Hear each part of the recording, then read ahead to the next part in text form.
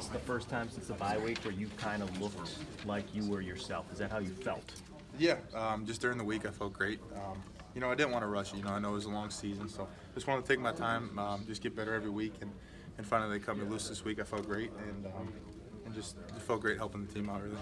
Can you talk about the team's response to those first two turnovers? What you saw out of the offense after that moment? Yeah, I think we handled it really well. I think, um, you know, we knew that, that we, you know, we shot ourselves in the foot there a couple times, but um, it really just came down to one play at a time. You know, do your job, do it, do it the right way, and uh, just relax too. You know, there's so much stuff going on. Just take your time, relax, and and um, and I think we did it. Troy, what's your mindset on third down? Uh, you have no control whether the ball's coming to you or not. Um, really, just win. Um, coach gives me, you know, a bunch of freedom out there just to, um, and really gives me, you know, the best uh, advantage I can. So, um, you know, I expect to win. I want, you know, I want to, um, you know, make the big play for those guys. So. it.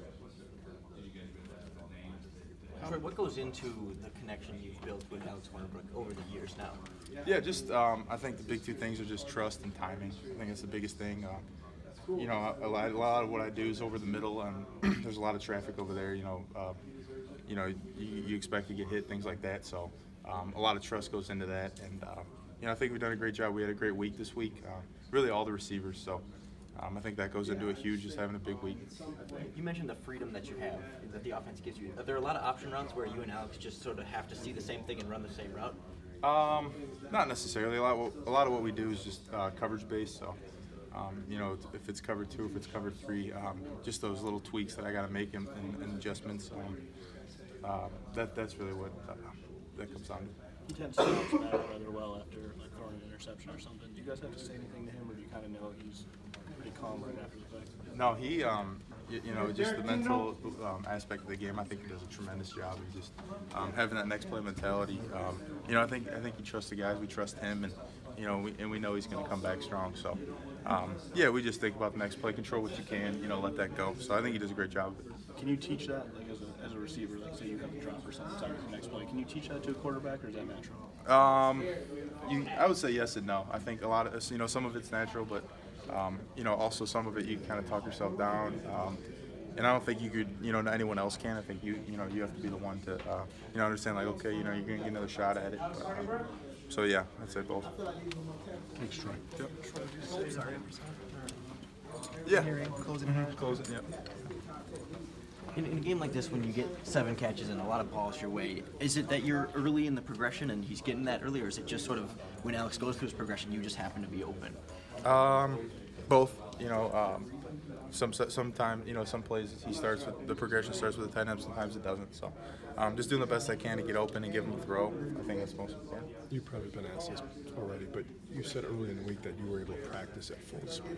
Is, is that did that just carry over today? Um, was it that simple, or was there more to it? Um, it's pretty. It's pretty simple. Um, you know, you got We got to trust it during practice. If we're going to trust it in the game. And um, I think that that was the biggest key this week. Um, you know, I wanted to be out there in the past weeks, but uh, you know, I also wanted to be smart and didn't want to do anything that hurt me down the road. So, um, just being you know on the same page early in the week and being able to make adjustments, uh, it makes a huge difference. What was more frustrating, having to miss the game or playing against Purdue and probably not being at 100 percent? Uh, missing the game, definitely. Yeah. Uh, you know, I love being out there. You know, you know, even if I'm not getting the ball, just helping those guys out any way I can. The Purdue game was injury related, and how much was them doing stuff to take you? kind of- Um, yeah, both. I would say. Um, you know, obviously the game plan called for, uh, you know, in different openings. So, you know, obviously that has played, you know, a big part in it. And then um, just working my way back too also did. So. Is it safe to say, and you and Alex, in particular on third down, you're, you're always talking about being on the same page, that you guys know, he knows where you're going and, and he knows where to put the ball to you. Yeah, um, you know, every you know, third down and red zone, everything happens a little quicker. Everything, um, you know, there's a blitz, there's this, there's that, there's always stuff going on. You don't know what they're going to be in, so um, I think everything needs to be a little finer on third down. You know, certain sports guys want the ball in certain situations. When it's third down, do you tell him, give me the ball if I'm? Um, I don't tell him that, no, but Does he know? I think so. Yeah. yeah, yeah. I just, you know, I want to make a play whenever I can. I think so. Troy, you hobbled a little last week um, off the leg, and uh, what would would you play at last week?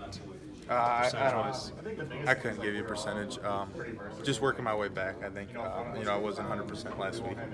Did you feel obviously you felt more comfortable going through the week today? Did you kind of feel like this was going to be a, kind of a much better health-wise performance for you? Again? I did, yeah. I felt great. Um, you know, we had a great week of practice. Um, I did every, really the full practice for the first time since my injury. So, um, yeah, it just felt great. Um, you know, positive thoughts and things like that. Is great 100% this week? Yeah, I'd say about 100. percent When, when Alex gets in trouble, throws an interception, he has this uncanny knack to come back and be even stronger. What's that like to see from your quarterback? Um, you know, that's that's huge. I mean, that, that is something you can't teach. Um, that you know, that's something that's in your own head, and, and for him to be able to do that is really, um, you know, you see some of the greatest athletes being able to do that. You look at that, uh, having that trait, so that's really cool. I think um, just being able to eliminate that and, and think about the next play. Uh, you know, I think that's that's a really great trait he has. And the defense came up huge. How nice is it? You're probably sitting on the bench.